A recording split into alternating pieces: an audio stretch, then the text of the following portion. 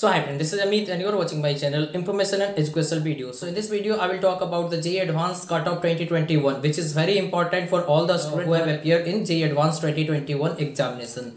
So here I will talk about the marks versus expected IIT. So by watching this video you will be able to know which type of IIT you can expect on the marks that you uh, that you have scored in the examination that you are expecting now. So here I will provide you the all branch category wise information and uh, I will provide you the information for top 5 IIT, top 10 IITs and any other IITs also. I will consider all of them and I will try to provide you the expected IIT based on your expected marks that you are expecting from the JEE Advanced 2021. So by watching this video you will able to know what is the safe marks for you for a particular branch and I will talk about for male and female also and for all category that is general OBC EWS SC ST so if you're first to my channel please try to subscribe this channel so that you will get the complete information regarding the JEE mains and JEE advanced in future days also ah, and also about JoSAA counseling and other counseling other entrance exam also in this channel only. So one more thing I would like to inform you that if you need the counseling guidance for JoSAA counseling or any other counseling that you would like to do this year such as JAC Delhi counseling COMEDK KKC you can contact me through instagram or whatsapp number. But if you need counseling guidance then only. Because for that you have to register with me. Then i will guide you for everything from now till your admission is done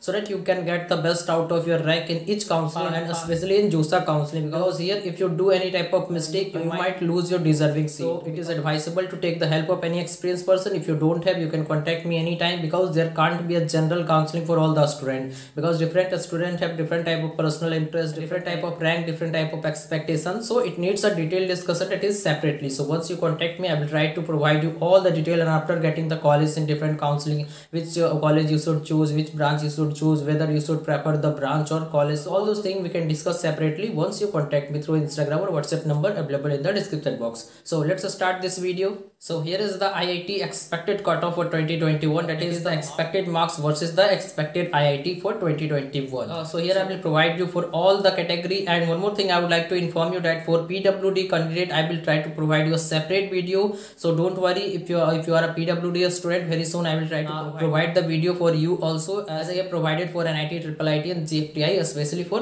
PWD candidate similar type of video I will try to provide you for JEE Advanced also that is IIT's college. So if you haven't watched my previous video that is the expected cutoff for NIT, Triple IT and GFTI similar to this video I have already made for that you can check the I button as well as the description box you will get the link so that you can estimate yourself which type of NIT, Triple IT or GFTI you, you are getting if you haven't appeared in JEE Advanced examination or your marks is not good in JEE Advanced examination. So let's continue this video. So if you want top 5 IIT with CSE branch then if you are from general candidate then you should have at least 245 plus marks if you are male and for female 205 plus marks so these are the minimum marks that you need to have at least to get those IIT with that branch that I am providing in this video. So if your marks is something less then also you can expect but with better counseling only because counseling is most important because last year I have seen many students did mistake. So it is very advisable to take the help of any experienced person. If you don't have you can contact me anytime through Instagram or WhatsApp number because it will be very regretful if you do any type of mistake because you may lose your two years of hard work also. It is very advisable to do your counseling very carefully. So if you talk about EWS then you need to score 220 marks. If you are a male and for female 170 plus marks.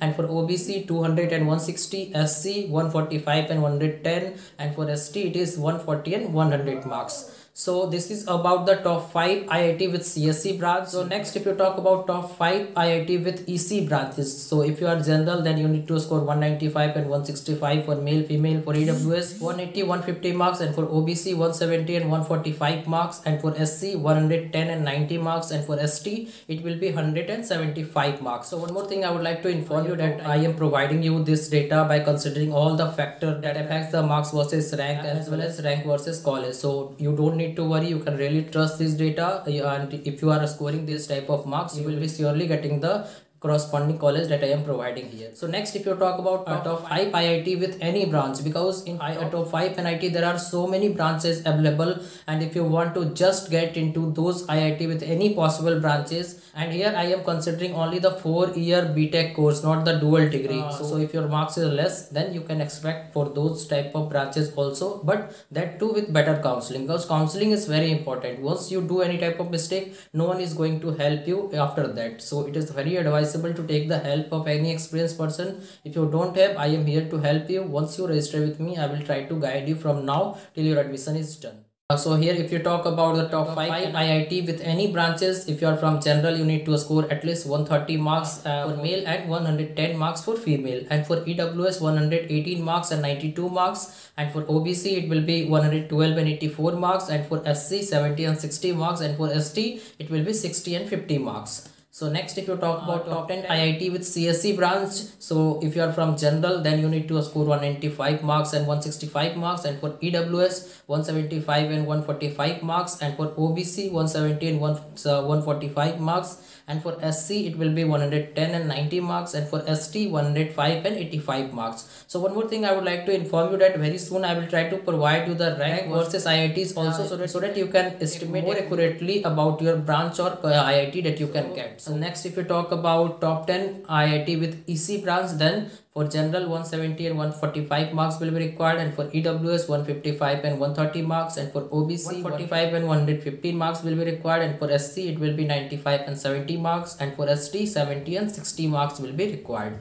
So next if you talk about top, top 10 IIT with any branches yeah. you can uh, get at 115 and 105 marks if you are from general and for EWS 180 marks OBC 175 marks, SC 60 and 55 marks and for ST 50 and 45 marks so next if you talk about any uh, any iit with CSE branch then you should have at least 140 marks. That is if you want to get into the iit with CSE branch in any possible iit then you should have at least 140 marks and 120 marks for male and female general candidate. And for ews 130 and 115 marks. And for obc 120 and 110 marks. And for sc it will be 75 and 70 marks. And for st 65 and 60 marks. uh, so before going forward for this video i would like to inform you that lower iit are those IIT don't have so many so many branches as compared to the older NIT. If you compare the top five NIT with lower five NIT, then there will be so much difference in the number of branches available in those IITs. So so the difference of the cutoff of any branch in IIT will uh, will not be so much.